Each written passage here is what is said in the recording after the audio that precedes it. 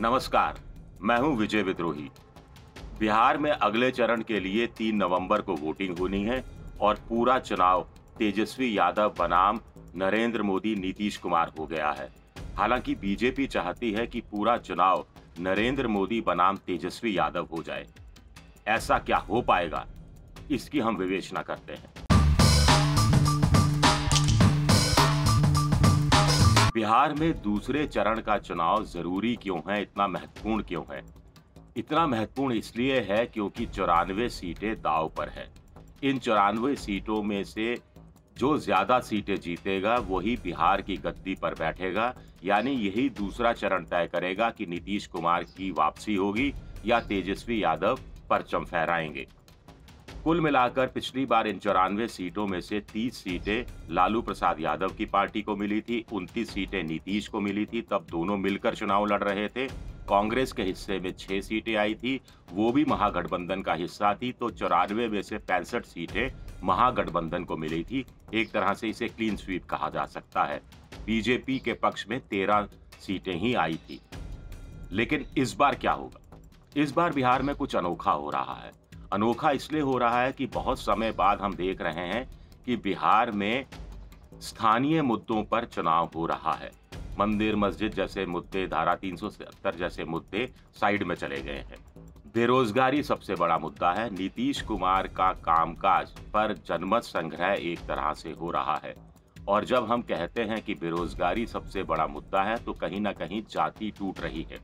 या यूँ कहा जाए कि बेरोजगार ही एक नई जाति है। ना कोई हिंदू है, ना मुसलमान है, ना भूमिहार है, ना ब्राह्मण है, महादलित है, महापिछड़ा है। कुल मिलाकर महापिछड़ा बेरोजगार है, महादलित बेरोजगार है, मुस्लिम बेरोजगार है, ब्राह्मण बेरोजगार है, भूमिहार बेरोजगार है, राजपूत बेरोजगार है, ओबीसी बेरोजगार है। बीजेपी समझ रही है कि मामला पेचीदा हो गया है, नीतीश कुमार का तंबू उखड़ रहा है। इसीलिए बीजेपी ने अपने नैरेटिव में बदलाव किया है। पहले चरण के चुनाव में प्रधानमंत्री मोदी तेजस्वी यादव का नाम तक नहीं लेते थे। उनका कहना था कि कोई चेहरा अचानक सामने आ जाता है तो लोग बाग उस चेहरे को खामखा चमकाने में लग जाते हैं। लेकिन दूसरे चरण की बात हुई तो नरेंद्र मोदी ने कहा कि जंगल राज का युवराज है, जंगल राज के युवराज के हाथ में सत्ता आ गई तो फिर उसी जंगल राज की वापसी होगी। यानी एक तरह से तेजस्वी यादव की प्रेजेंस को, उनकी मौजूदगी को और कहीं ना कहीं उसकी ताकत को भी बीजेपी पहचान रही है और नरेंद्र मोदी भी चाह रहे हैं कि पूरा चुनाव नरेंद्र मोदी बनाम तेजस्वी यादव हो जाए। नरेंद्र मोदी ने जंगल राज की बात इसलिए भी की क्योंकि बिहार में करीब करीब दो तिहाई जनता 40 प्रतिशत, चालीस साल से नीचे की है, युवा है और बेरोजगार है, इनमें से बहुत बड़ी संख्या। और ऐसे लोग नीतीश कुमार से नाराज़ हैं। इसलिए नीतीश कुमार को बचाने के लिए एक तरह से नरेंद्र मोदी जंगल राज की, लालू के जंगल राज की याद दिला रहे हैं। इस बहाने वो बुज़ुर्गों को अपने निशाने पर ले रहे हैं। महिलाएँ उनके निशाने पर हैं, जो जंगल राज से बहुत ज़्यादा, सबसे ज़्यादा प्रभावित हुई थी। दूसरे चरण में जिन चौरानवे सीटों पर चुनाव हो रहा है, वहाँ बीजेपी छियालीस सीटों पर लड़ रही है। तेजस्वी के खिलाफ वो 27 सीटों पर लड़ रही है, कांग्रेस के खिलाफ 12 सीटों पर लड़ रही है और वाम मोर्चे के खिलाफ सात सीटों पर उसका मुकाबला है। उधर नीतीश कुमार जिन तिरयालीस सीटों पर चुनाव लड़ रहे हैं, उनमें से बयालीस सीटों में चिराग पासवान की पार्टी ने भी अपना दावा ठोक रखा है। चिराग पासवान की पार्टी भी लोक जनशक्ति पार्टी बयालीस सीटों पर नीतीश कुमार के खिलाफ लड़ रही है। इस 25 सीटें ऐसी हैं जहाँ नीतीश का मुकाबला लालू प्रसाद यादव की पार्टी से भी है, यानी यानी तेजस्वी यादव से भी है और चिराग पासवान से भी है। 12 सीटों पर कांग्रेस से भी उसे लड़ना है और एलजेपी से भी लड़ना है। यानी कुल मिलाकर सैंतीस सीटों पर त्रिकोणात्मक संघर्ष हो रहा है।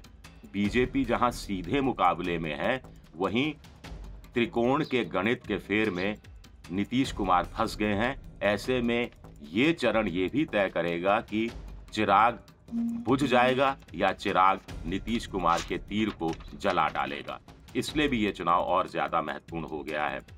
वैसे अगर नीतीश कुमार की बात करें तो कहीं ना कहीं वो अपना आपा खोते जा रहे हैं। वो जिस ढंग की राजनीति करते रहे हैं, जिस ढंग से वो आमतौर पर विवादों में उलझते नहीं हैं, वैसा इस बार हो नहीं रहा है।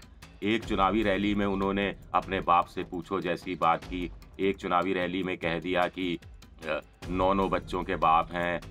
बेटियों के बाद बेटा पैदा हुआ। बेटियों पर यकीन नहीं था। यानी कुल मिलाकर लालू यादव पर भी निशाना, राबड़ी देवी पर भी निशाना। ये भूल गए कि लालू के साथ मिलकर ही उन्होंने दो ढाई साल सरकार भी चलाई थी। 2015 का पिछला चुनाव लालू के साथ मिलकर ही वो जीते थे। ऐसे में कुल मिलाकर प्रधानमंत्री मोदी पर दोहरी ज़िम्मेदारी आ जाती है।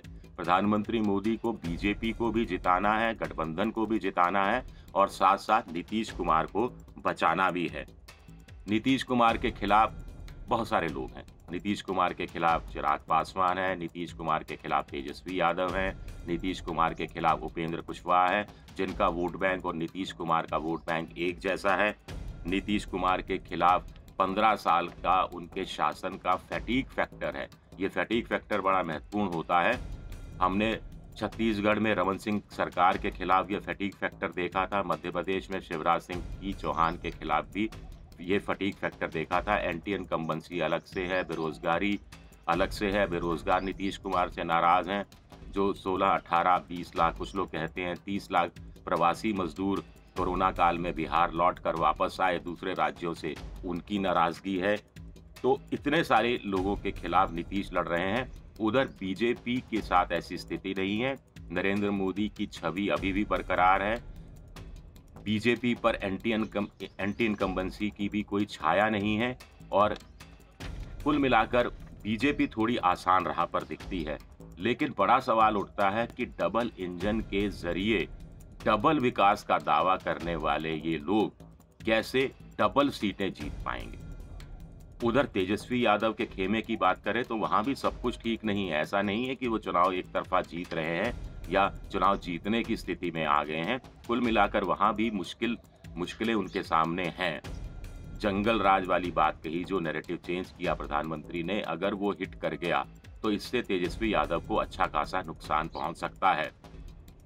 बाबू साहब लोग जैसा उन्होंने एक बयान एक चुनावी रैली में दे दिया था जिसका खामियाजा भी उन्हें उठाना पड़ सकता है। तेजस्वी यादव शुरू से ही अहम मुख्यमंत्री अहम ब्रह्मास्मि वाली बात करते रहे।